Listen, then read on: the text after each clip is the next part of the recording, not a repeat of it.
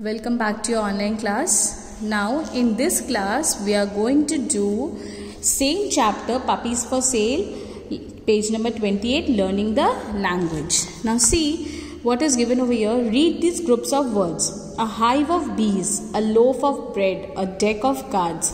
You can see these red words highlighted over here. This is a collection of something. When there is a collection of bees we say hive of bees when there is a collection then when you buy a bread from a market that entire bread is called as a loaf of bread.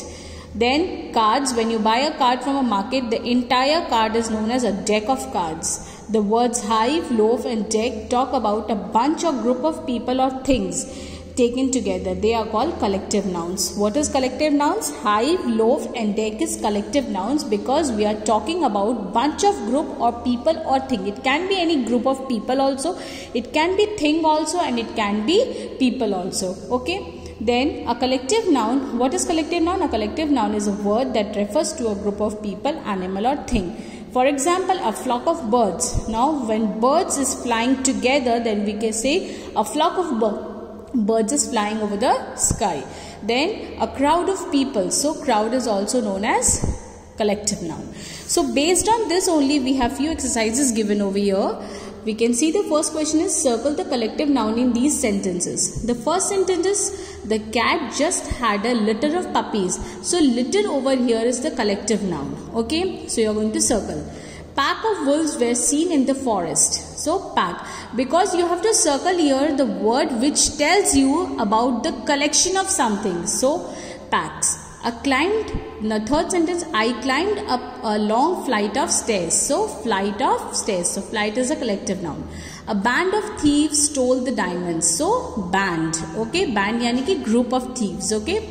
I drove past an orchard of apple trees. Orchard means where apple is grown.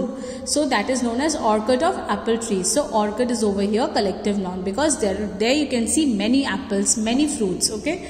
May I have a look at your collection of stems? So here collection itself is giving you something collect about collection. So collection. Okay. Now number B.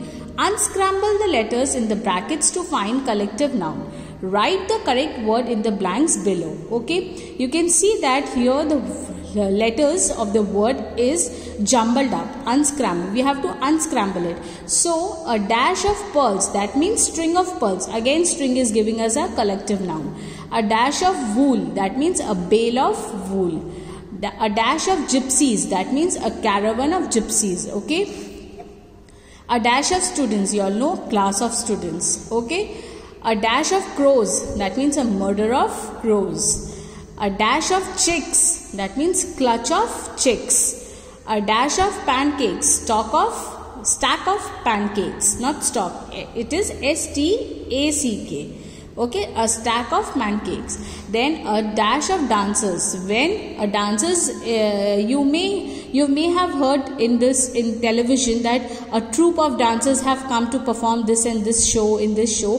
So a troupe of dancers. So students hereby we have completed this chapter. In my next next class i'm going to start with the lesson 4 how the little kite learns to fly Till now you have to do this. Thank you. Have a great day.